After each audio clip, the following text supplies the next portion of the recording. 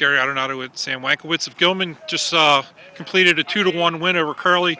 Sam uh, down one nothing at the half. Uh, you guys really put a spark together, and, and it, it, came when you went up top, and uh, you got you got the go ahead goal, the winning goal. Yeah, we really knew we had uh, to work in this game.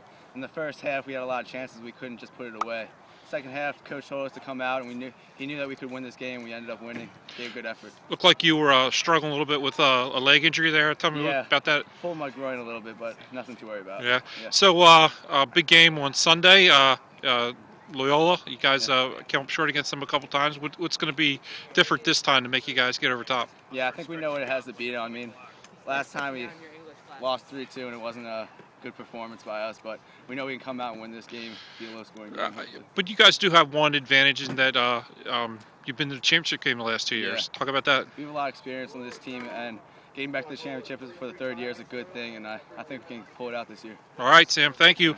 Good luck. Thank you.